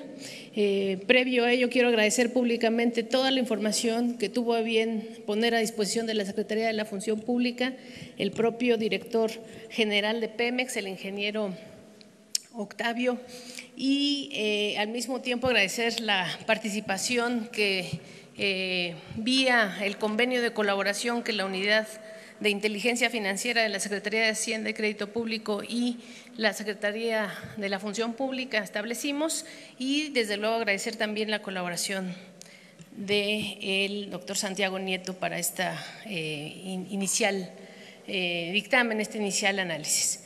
En cumplimiento de las instrucciones presidenciales, me permito sintetizar los principales hallazgos del análisis que nos permitirá establecer acciones para investigar la presunta comisión de irregularidades administrativas, normativas e incluso penales y continuar con el combate a la corrupción en la vida pública del país y en el caso concreto de las empresas productivas del Estado como es Pemex en la celebración de convenios de prestación de servicios. Primero, se confirma que los tres servidores públicos que fueron señalados en la investigación conocida como la estafa maestra, eh, el ingeniero Miguel Ángel Lozada Aguilar, entre 2013 y 2014, administrador del activo de producción Cantarel y actual director de Pemex Producción y Exploración, el ingeniero Héctor, eh, Salvador Salgado Castro, en 2013 y 2014, gerente del proyecto de desarrollo Ayastil Tequel y actual subdirector de coordinador operativo operativo y comercial de Pemex Producción y Exploración y el contador público Luis Galván Arcos entre 2013 y 2014 gerente de suministros y servicios administrativos de regiones marinas y actual gerente de operación y control financiero de procesos industriales y logística, participaron como firmantes responsables no solo de seis sino de 25 convenios de Pemex con instituciones públicas de educación superior durante el periodo de 2012 y 2018. El convenio específico para la prestación de servicios que celebró Pemex Exploración y Producción por medio del ingeniero Lozada Aguilar con la Universidad Popular de la Chontalpa tuvo por objeto realizar servicios de asistencia técnica en materia de producción y perforación de pozos para la subdirección de producción región Marina Noreste y eh, eh, por lo mismo revisamos tres cajas con 15 tomos que constan de 8.825 fojas para analizar las órdenes de servicio mediante las cuales se materializaron los conceptos específicos requeridos por Pemex Exploración y Producción para fijar los alcances, términos y condiciones para el desarrollo de los trabajos. Eh, como está establecido también en la investigación, el monto máximo que Pemex estaba autorizado a ejercer era de 140 millones de pesos y el mínimo de 91 millones 956 mil 885 pesos eh, en un plazo de ejecución de 1.003 días durante el periodo comprendido entre el 3 de abril de 2012 y el 31 de diciembre de 2014. El costo real de este contrato, sin embargo, rebasó el límite permitido, eh, permitido, y equivalió a un total de 145 millones 841 mil 041 pesos. Ha sido comprobado también por la Auditoría Superior de la Federación que esta Universidad Popular de Chontalpa no contaba con capacidad técnica, material y humana para prestar los servicios establecidos en el convenio y eh, precisamente por ello procedió a subcontratar a terceros, quienes a su vez tampoco contaban con la capacidad técnica requerida y también contrataron o subcontrataron otros servicios. Tres, el convenio de prestación de servicios que celebró eh, Pemex, Exploración y Producción, por medio del ingeniero Salgado Castro con el Instituto Tecnológico Superior de Comalcalco, tuvo por objeto genérico realizar servicios técnicos especializados para los proyectos de desarrollo de campos de exploración y producción. Eh, también se estableció un monto máximo de 80 millones y un monto mínimo de 32 millones para un periodo comprendido entre abril, 22 de abril eh, de, eh, a el 17 de diciembre, todo en 2013. Sin embargo, este también, eh, el costo real de este, este convenio también rebasó el límite máximo y equivalió a un total de 99 millones 935 mil 551 pesos pagados en 20 órdenes de servicios. Este segundo convenio quedó expresamente pactado, en este segundo convenio quedó expresamente pactado que el Instituto Tecnológico Superior de Comalcalco contaba con la capacidad legal y técnica suficiente para proporcionar estos servicios genéricos y se comprometió a no subcontratar por parte de, eh, a no subcontratar los mismos por parte de esta institución. Sin embargo, para cumplir con los objetivos, el Instituto Tecnológico Superior de Comalcalco subcontrató a diversas empresas con las que celebró contratos para eh, estos convenios suscritos con Pemex Exploración y Producción y el porcentaje global de la subcontratación realizada correspondió al 93% de los servicios. La violación a la cláusula correspondiente a la subcontratación era una causal de rescisión de los convenios. El firmante responsable del convenio referido por parte de Pemex Exploración y Producción eh, abdicó el ejercicio de estos derechos estipulados en los contratos. Adicionalmente, se observó que los cheques emitidos por cuatro empresas subcontratadas fueron cobrados por una misma persona física sin que se acreditara cuál era la participación dentro de estas mismas empresas. A uno de los subcontratados no les fue posible localizarlo en el domicilio manifestado, entre muchas otras irregularidades. Este modus operandi de convenios celebrados al amparo del artículo primero de la Ley de Adquisiciones, Arrendamientos y Servicios del Sector Público dispersaba los recursos recibidos a través de subcontrataciones de las subcontrataciones más allá de los límites establecidos, lo cual era contrario no solo a la normativa contractual de los convenios de referencia, sino en primer lugar a lo establecido en el artículo 134 constitucional que señala a la letra. Cuando las licitaciones a que haga referencia el párrafo anterior no sean idóneas, las leyes establecerán las bases, procedimientos, reglas, requisitos y demás elementos para acreditar la economía, eficacia, eficiencia, imparcialidad y honradez que aseguren las mejores condiciones para el Estado se cierra la cita constitucional. Por lo que los convenios firmados por los ingenieros Lozada Aguilar, Salgado Castro y Galván Arcos con la Universidad Popular de, la Chontalpa, el Instituto Tecnológico Superior de Comalcalco, al permitir la subcontratación, elevar precios y no asegurar las mejores condiciones para el Estado, contravinieron lo establecido en el artículo 75 de la Ley de Petróleos Mexicanos y desde luego lo dispuesto en el artículo 134 de la propia Constitución. En la revisión de las cuentas de 2013 y 2014, la Auditoría Superior de, de la Federación, como es de todos conocidos, señaló en su muestra de 73 convenios con ocho instituciones públicas de educación superior que hubo un desvío por 7.667 millones de pesos, por lo que eh, se presume que el daño al patrimonio público y, al cargo, y el cargo al erario puede ser muchísimo más importante, dado eh, que la revisión se concentró simplemente en el 6.4 eh, de eh, del monto posible a ser fiscalizado en los convenios entre Pemex y las instituciones de educación pública. Entre las empresas que se beneficiaron de estos cuantiosos recursos están algunas donde los propios servidores públicos o personas cercanas a ellos eran socios directos. Se localizaron también empresas fantasma o que simularon la realización de los trabajos. La estafa fue maestra porque el entramado a partir del cual se operó pretendió ser de perfecta legalidad, aunque con deficiente moralidad. Sin embargo, el talón de Aquiles de esta estrategia fue el control y los servidores públicos que tenían responsabilidad en verificar que se cumplieran las condiciones de ley y los términos convenidos, abdicaron su responsabilidad. Y los auditores que debieron monitorear el desempeño de, los responsables administrativos fueron limitados en el alcance de sus revisiones y omisos para fincar responsabilidades.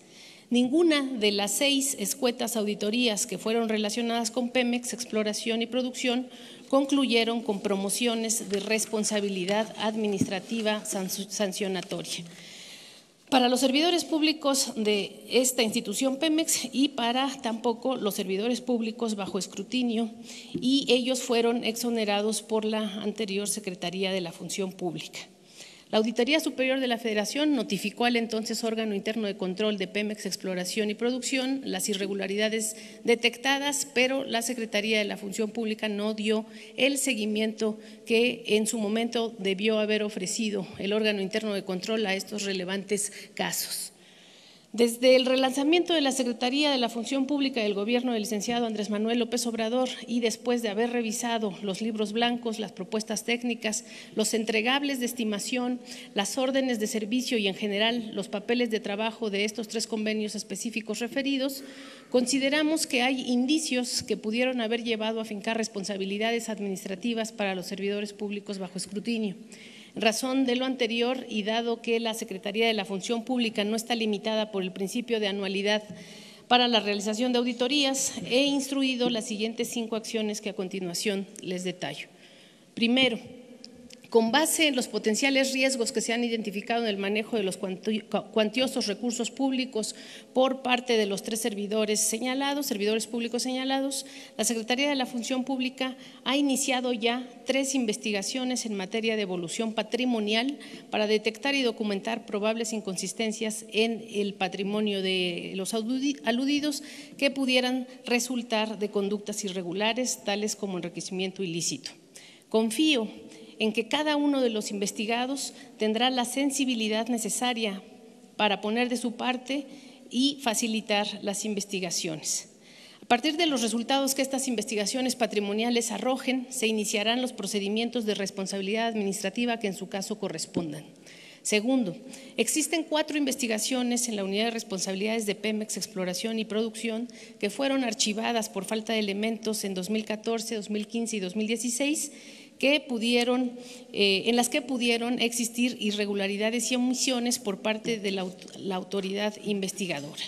Por lo anterior, el órgano interno de control de la Secretaría de la Función Pública ha iniciado ya investigaciones de posibles omisiones de funcionarios de la Unidad de Responsabilidades en Pemex Exploración y Producción que en su momento condujeron las indagaciones para detectar y sancionar negligencias o conductas irregulares en las que, de ser el caso, dichos funcionarios hubieran incurrido.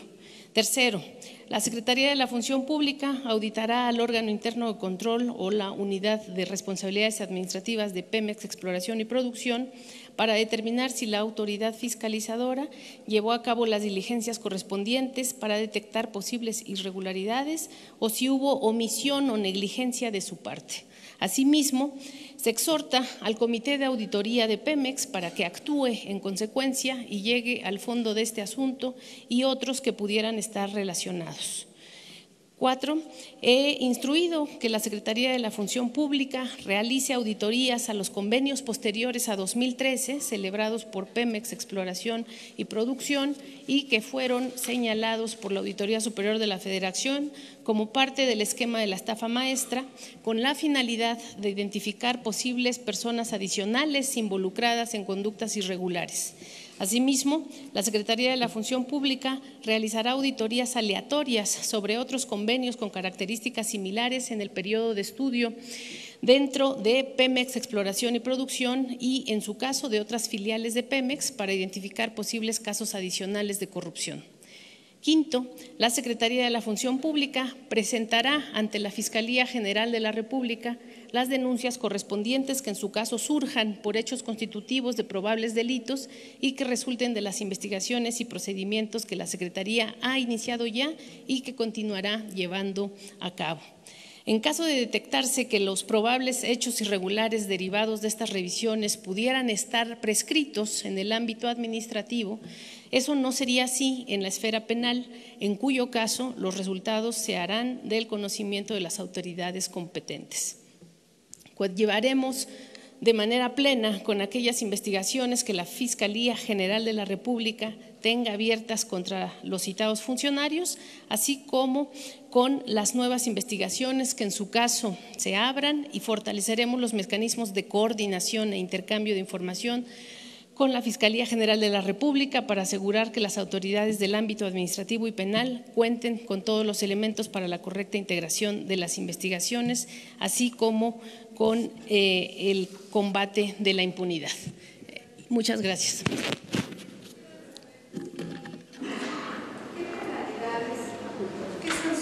¿Qué penalidades se aplican eh, si nos da el nombre exacto, digamos, del delito en que pudieran haber incurrido y qué penalidades se podrían aplicar? Eso por un lado. Estas personas ¿Ya dejaron estos cargos y están localizables, están presentadas o en qué situación jurídica, podríamos decir, eh, se encuentran estos tres funcionarios? Y por otro lado, adicionalmente, yo sé que este es un dictamen sobre Pemex y sobre estas tres personas, pero quisiera saber si otras personas relacionadas con la estafa maestra, otros funcionarios en otras dependencias están siendo investigadas, si existen indagatorias. Gracias. Sí, eh, como refiero en el reporte que le presento al señor presidente de la República, las, investigaciones están abiertas, en particular para eh, los convenios citados que, eh, en donde se intervienen los funcionarios públicos en específico, en cuyo estatus legal y administrativo corresponderá al, propio, a la propia empresa productiva del Estado y el director general de Pemex. Eh, pero estas investigaciones, como estoy anunciando, eh, sí generarán un estudio a profundidad de todo el entramado que tiene que ver con esta llamada operación de estafa maestra y entonces evidentemente muy probablemente pudieran surgir otros eh, servidores públicos que, tengan también que estar sujetos a investigaciones de evolución patrimonial. Los delitos son diversos y las sanciones pues son desde las inhabilitaciones hasta evidentemente eh, el cese y el, dar vista a, la Fiscalía General para que actúe la, justicia penal. Sí. Gracias. Buenos días. ¿Vas a repreguntar algo? Sí, tres.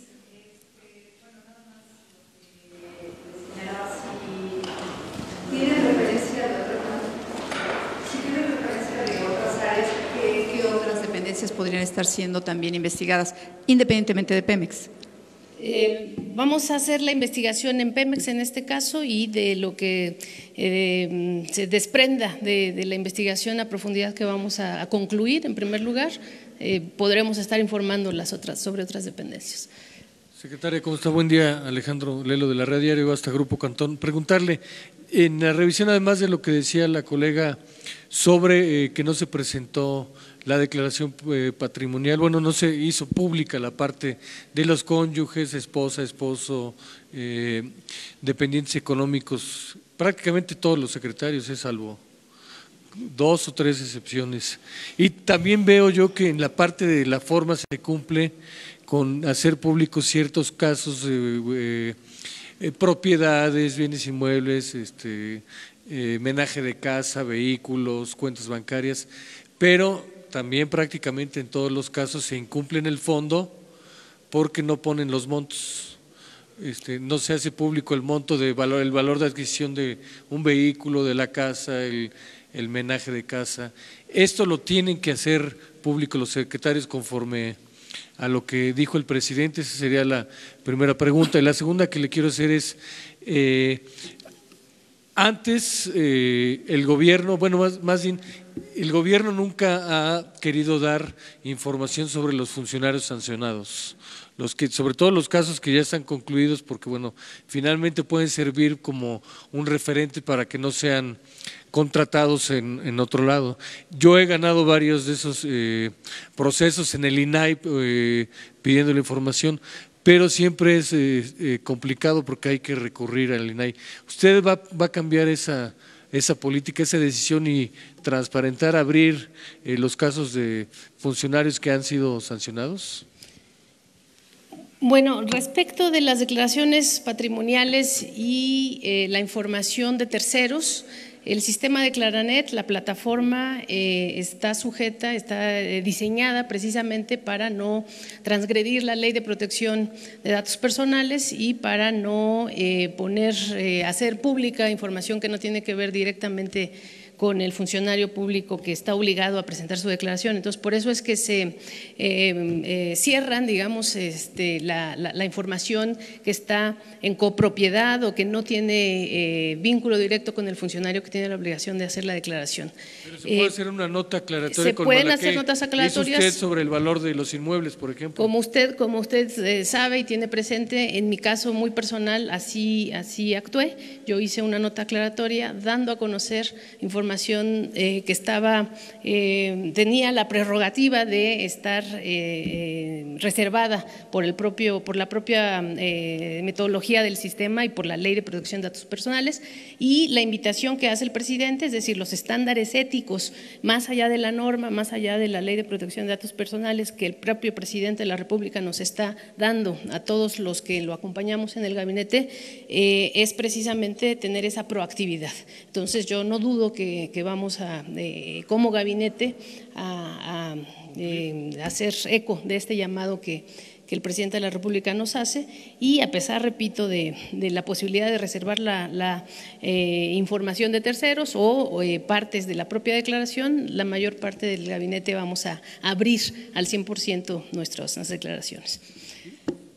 Sí. Lo, de, lo que le preguntaba de los, de los funcionarios públicos que han sido sancionados. si esto lo van a lo van a abrir, a lo mejor no al público en una página web ya abierta, pero sí por lo menos en las solicitudes de información. Ahí es más complicado, como usted sabe, porque esos son datos pues de terceros, absolutamente de terceros, y eh, eh, tenemos que respetar todos eh, los derechos que, los involucrados en investigaciones tienen. De hecho, esta misma, este mismo informe, esta misma generosidad, me parece, del propio presidente de la República en, este dictamen de la investigación de estos tres funcionarios públicos, es una muestra de que sí vamos a andar por en la medida de nuestras posibilidades eh, en, la transparencia proactiva eh, en esta, en esta situación de investigaciones. Perdone la repregunta, no me refería en, particular a estos tres casos, me refería al global un poco en el sentido de que un funcionario que fue sancionado a nivel federal,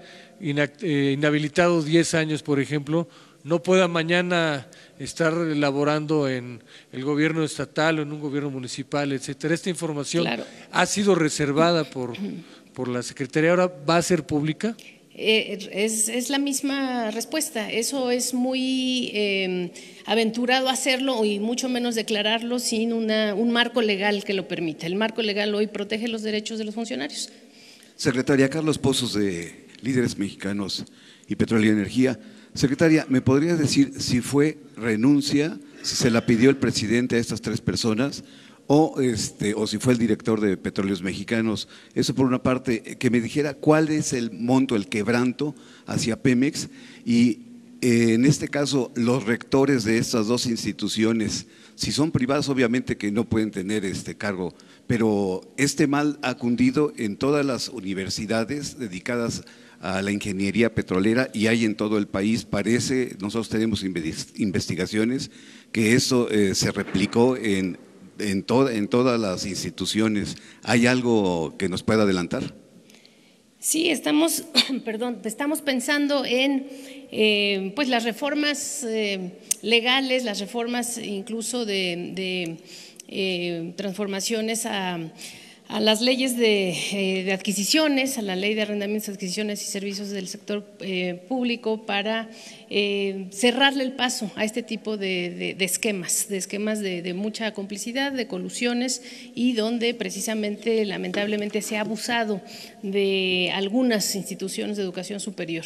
Entonces, está la, voluntad de este gobierno, la voluntad de la Secretaría de la Función Pública y de todos los miembros del, gobierno para presentar posibilidades legislativas, incluso para transformar eh, las cuestiones legales que hoy eh, están siendo o que en, el, en el, anterior, eh, sí, en el anterior gobierno, en los anteriores gobiernos, pudieron haber sido objeto de abuso por parte de las autoridades. en el caso de los, de los funcionarios actuales de Pemex, eso está totalmente en, en manos de la empresa productiva del Estado el, presidente de la República. Este, ¿Sí? ¿Qué tal? Alberto Rodríguez de SDP Noticias. Sobre esto que usted está hablando de legislación, eh, ¿ya tienen algo avanzado y tendrán una fecha para presentar estas propuestas de ley? Eso por un lado. Y por otro, si la Secretaría de Función Pública o la Presidencia o alguna instancia en el Gobierno federal tiene ahorita la atribución de hacer cambios en este tipo de regulaciones para evitar que esto siga sucediendo? Sí, tenemos eh, la posibilidad de, emitir normas y vamos a hacerlo a la brevedad, ¿no? Para tener muchísimo más controles en términos de la fiscalización, en términos de que nuestros contralores, nuestros titulares de órganos internos de control que están obligados a vigilar, a auspiciar la legalidad, tengan eh, la responsabilidad de que si hacen un trabajo eh, superficial o permiten omisiones en las responsabilidades administrativas, pues sean también corresponsables de, de, los daños al erario. Entonces vamos a emitir las normas respectivas y las nuevas directrices están dadas. Estamos trabajando en propuestas de ley. Eh, como ha anunciado el presidente de la República, está en ciernes la aprobación, por ejemplo, de la ley de austeridad republicana, que está muy en vínculo con las políticas y las directrices centrales de esta nueva Secretaría de la Función Pública. Y les pido unas poquitas más porque tengo reunión con el propio presidente. Este, sí, aquí atrás y luego auditó el 6.2%, ¿cierto? Sí. Eh, entonces, y que el daño al erario podría ser como mucho mayor. Sí. Entonces, mi pregunta sería, ¿esto usted decía era por el marco legal que solo permite auditar cierto porcentaje o algo así de los convenios de Pemex? No, fue por, no sé si está la, la este... Y, entonces, mi pregunta sería, ¿en cuánto estiman que podría escalar el daño al erario por la estafa, por este mecanismo que revela la investigación de la estafa maestra? Y la otra pregunta es insistir en lo que decían mis compañeros, hacia los rectores y las autoridades de las universidades que firmaron estos convenios y que podrían tener alguna responsabilidad por eh, decir o expresar que tenían capacidades técnicas cuando no las tenían. Entiendo que algunas que dependen de los gobiernos estatales, pero ahí se está trabajando en coordinación con los órganos de control de los gobiernos eh, y o ¿Qué pasaría con las universidades que tienen autonomía? ¿Qué pasa en el marco legal, secretaria? Sí, ese es precisamente el, tema. Tenemos que transformar el esquema normativo para que nos permita eh, pues que los, eh, las instituciones de educación superior y sobre todo evidentemente sus directivos, desde los rectores y los directores generales de estas eh, instituciones, pues tengan mayor responsabilidad, estén sujetos a mayor control. En la actualidad se ha aprovechado de estos, de estos huecos y de esta utilización de ciertas universidades, de hecho han sido eh, muy contadas, creo que son 11 universidades que fueron partícipes, no más, y como ustedes saben, pues nuestra, nuestro universo de, de educación superior es, es, infinitamente superior, entonces sí es factible hacer investigaciones una vez que se hagan las, las transformaciones legales correspondientes que nos obliguen a mayor eh, control, fiscalización y rendición de cuentas por parte de quienes las dirigen.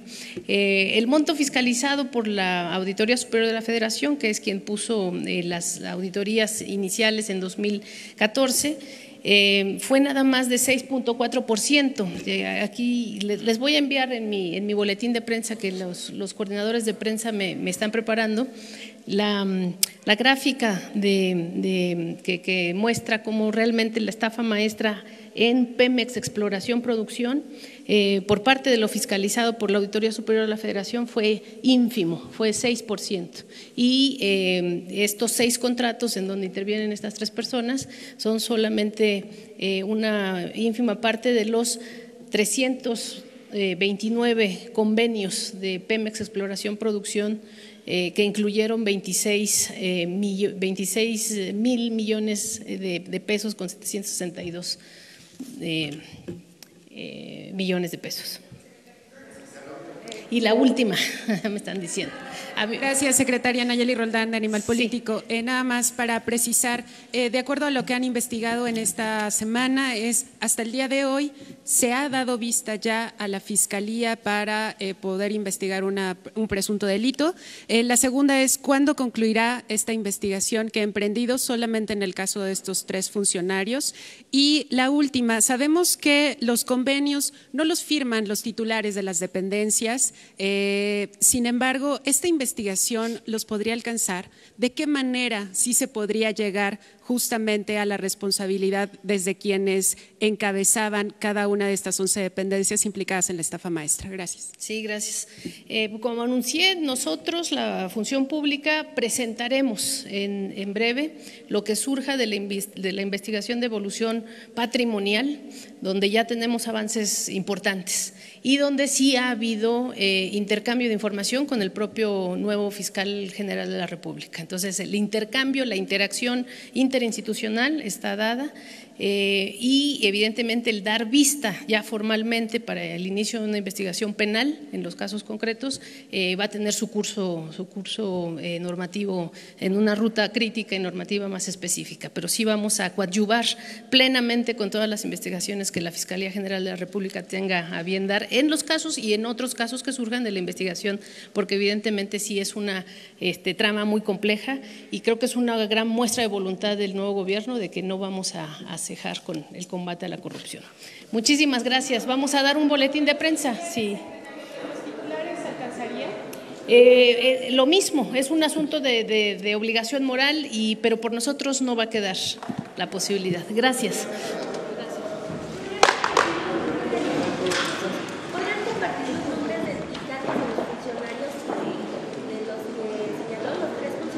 Sí, está en público, pero el boletín viene señalado, sí.